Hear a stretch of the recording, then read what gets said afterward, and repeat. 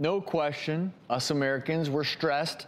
In fact, an estimated 75 to 90% of all doctor visits have some stress related issues.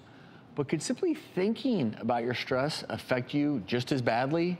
A new study done by researchers at Penn State found that simply starting your morning by thinking about how stressful your day is, that is going to be harmful and make you more stressed. It's going to be harmful to your cognitive function throughout the rest of the day.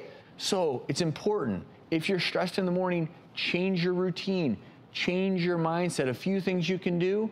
The first one, get a real alarm clock.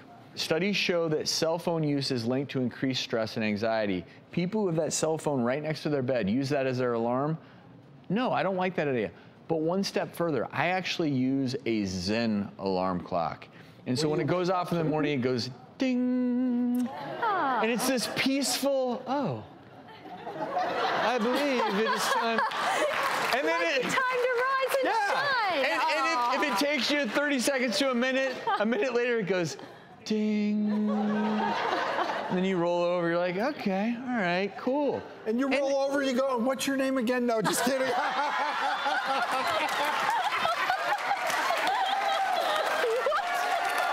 Now that's what I call. That, that may add that that may add stress to the day.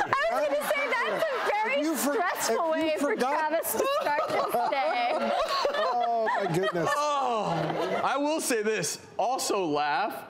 Right now, my stress levels are so low because of how good of a laugh that was that I'm, I'm actually sleepy.